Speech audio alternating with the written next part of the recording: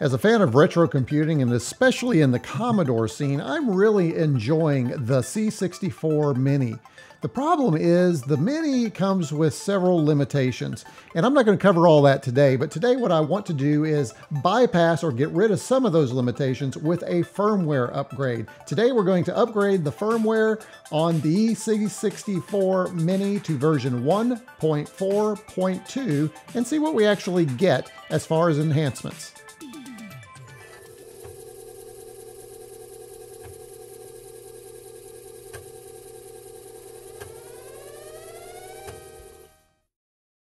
First thing we need to do is connect this puppy up to some cables. Let's plug into the HDMI port. I'm plugging into a video capture device. Next thing we need to do is plug in the included USB joystick. A lot of hate about this joystick. I kind of like this joystick. I don't know where all the hate's coming from. And finally, we will plug in the micro USB cable to apply some power. As soon as we plug it in, the power light will light up and power is applied. Now, the reason I like that joystick is because those keys do not work, and there's some special keys on the joystick that will allow us to perform some functions. And here we are at the main user interface for the Mini. And we'll grab our joystick because we'll need to move around because again, those cursor keys don't work. We're gonna go to settings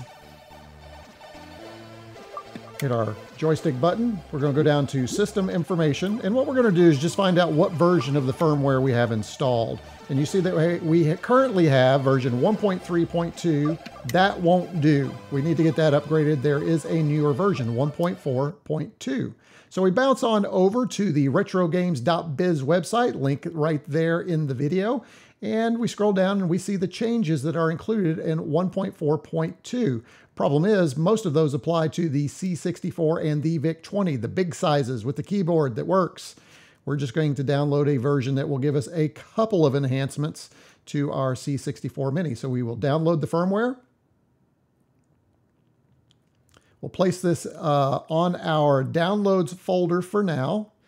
It's a quick download, very small file. Now we're going to go ahead and show in folder so we can see that. You see it's only about 13 megs. We copied that and what we're going to do is paste that onto our USB drive. That's a fat formatted USB drive. You see I have a previous version of the firmware, 1.3.2 I think that was. Uh, and we're going to include a new copy. So we've copied that version over. And then I'm going to go ahead and keep that old firmware, but I'm going to rename it with the words old after it, just so when we reboot the C64 Mini, it doesn't get confused. Not sure that it would, but this is just a good way to make sure that it doesn't. Okay, we'll eject the USB drive. We'll go back over to the C64 Mini. We're going to exit, close down, shut down, restart, whatever we need to do to get this thing to start over.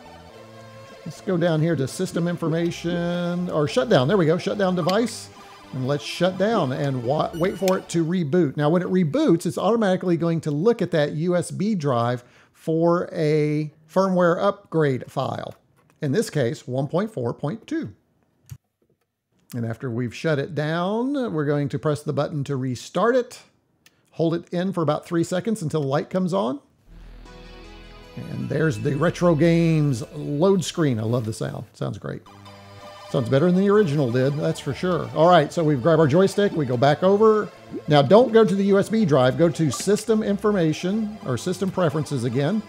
And you'll notice immediately when we go to System Information, we have, hey, there's a file for you to use to upgrade. Let's apply that and wait for the upgrade.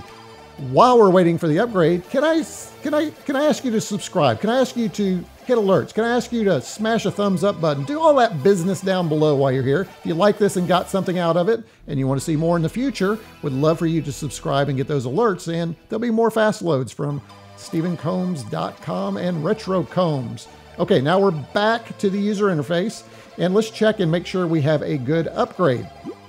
So we'll go back down to system information. Going to go down there again to system information there, and you see we now have the C64 1.4.2 Shield. What does that mean? Shield, I don't know. The only problem is the only thing we're getting with the Mini is two new games, Barnsley Badger and Soulless. All those other great uh, additions and features up top, we don't get those. I was actually hoping we might get a VIC-20 clone with an update, but we are not getting those on the Mini, unfortunately. So here's the first new games we get. Barnsley Badger. It's a little badger. He's running around in some kind of weird, I don't know why badgers are in weird haunted forests uh, next to cemeteries with bats flying and snails. I will say this of this game though, is very impressive. Music is great, graphics are great. It's a good looking platformer. I'm not a big platformer, not something I will play a lot of, but hey, if you are interested in moving badgers around, Barnsley Badger is your game. Say that three times fast. The other game that is included is something called Soulless. This just sounds ominous, doesn't it? This is by, I missed it, Psytronics, I think it was where Barnsley Badger was a platformer, this game is also a platformer. Welcome to Soulless. And you can see it's not a badger, it's some kind of other thing that likes to jump around and hit things and go up platforms. And it's a platformer, there we go. It's like uh, Donkey Kong meets some kind of alien thing and dies a lot, especially when I play it. So that's the other game that comes with the C64 Mini. Let's see if I can get up to that upper level up there. We're going to jump up here. We're going to jump up here. We're going to go over here and jump, and we're going to jump one more time here. And let's see if we can go over that nasty spider thing and go over. Can we go over here? Where do we go? Oh, there's another screen right there, and there's another nasty spider, and I'm gone.